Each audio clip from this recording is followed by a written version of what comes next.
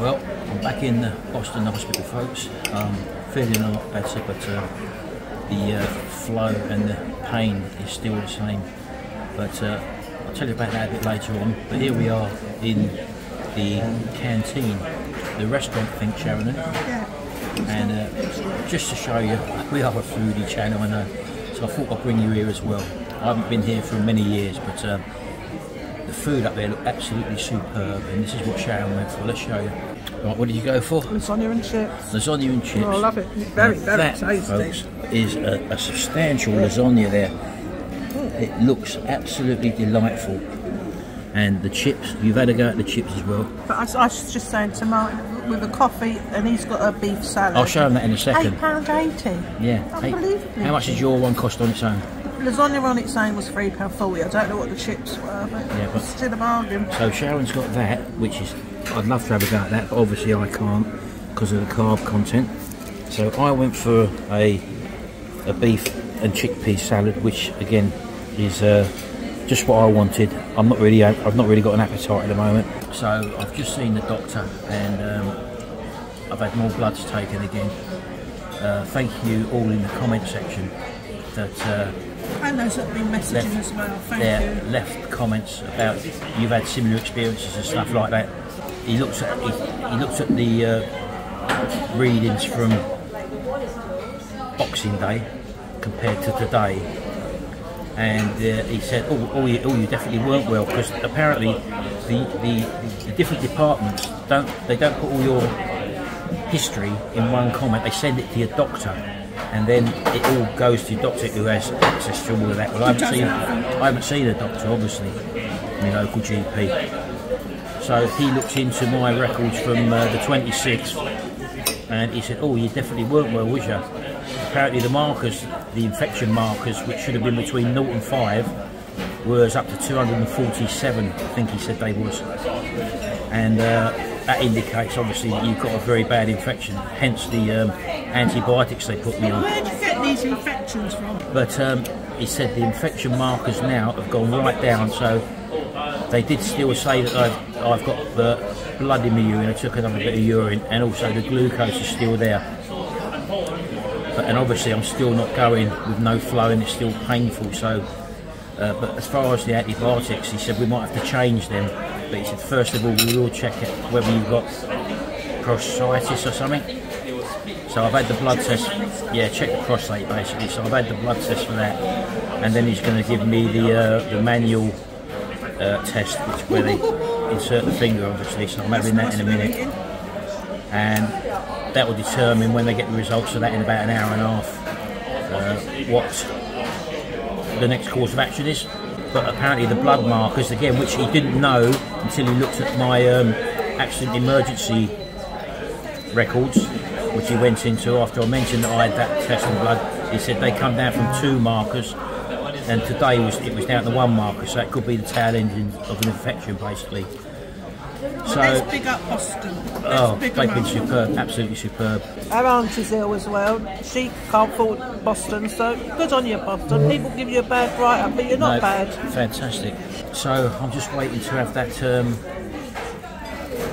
manual finger jobby, and the results will be back in about an hour and a half. So we're just going to eat this now, folks, and um, I'll get back to you. He said, "But how do you feel in yourself?" I said, "Well, I feel a lot better." He said, "Yeah, you definitely weren't well with them markers when you're coming in on like Boxing Day." So feel a lot better in myself, and probably you can see that as well. So thank you so much for all your comments. You, you probably noticed that I've not replied to any. I've just hearted them. There's just too many to go through, folks. But I've read most of them. I'll be honest with you. And uh, so so much well wishing out there, and also on Facebook as well. So I'm going to eat this now, and I'll come back to you a little bit later on when we know a bit more. So let's enjoy our dinner, shall we?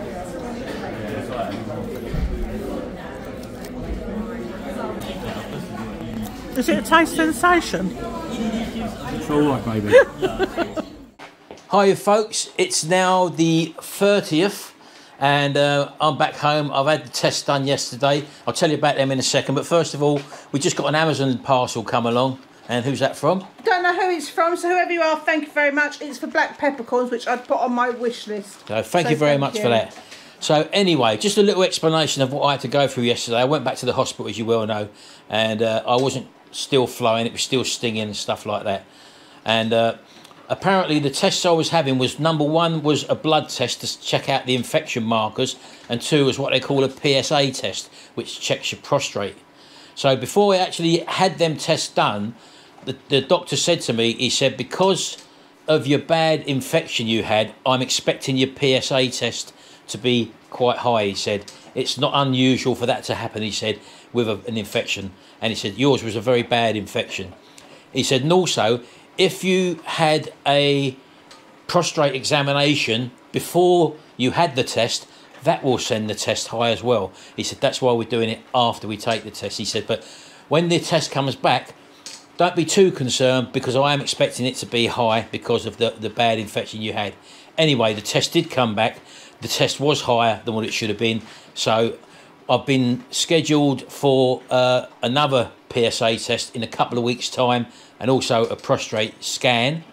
Now, bearing in mind, up to this, there has been no issue. So he done the examination, the manual examination, and he's.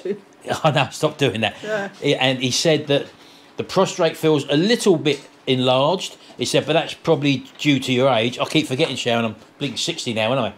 He said, but the the the, Stop the it, surface of it, I know I can't stop it.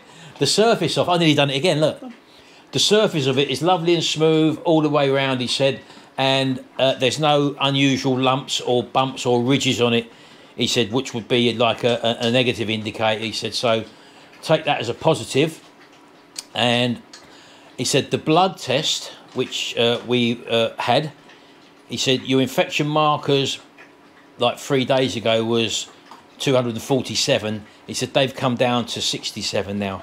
He said, so the antibiotics are working, but obviously still you are have got the infection in you. And just before he done the test, probably about an hour or so before he done the test, I went to the toilet in the hospital, and for the first time in that period of time, I had flow. Not a very good flow, but I had flow, and there was no pain whatsoever, no urgency to run to the toilet. And I thought, yes, that's great. As soon as he'd done that examination with the finger, after that, back to square one again. Trickle, trickle, trickle. But towards the end of today, I've started doing a bit more of a a flow sort of thing. Although I'm not peeing regular, uh, sorry, I'm peeing regular, but not a lot of quantity, about 100 millilitres at a time. But he said that's good. He said that will get better. So he said the antibiotics you was on are very strong. Take them, continue to take them till the end of the um, the course. Take them he said because they are the strong ones.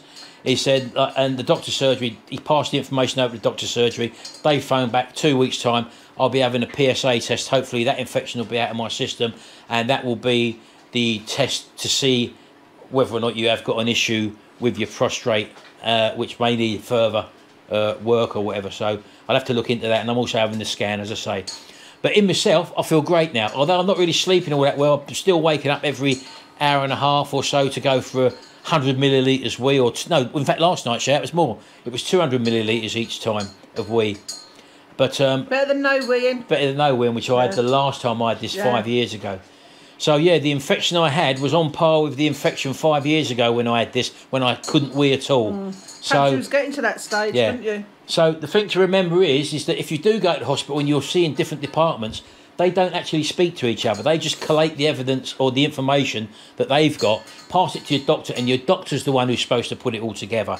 So if I wouldn't have mentioned to him that I was in on Boxing Day and I'd had a blood test, but I didn't know what they was, he was then able to log into the A and E records and say, "Oh yeah, I can see exactly what's happened there." He said, and oh, he said, "You, you know, you, you, your markers were terrible."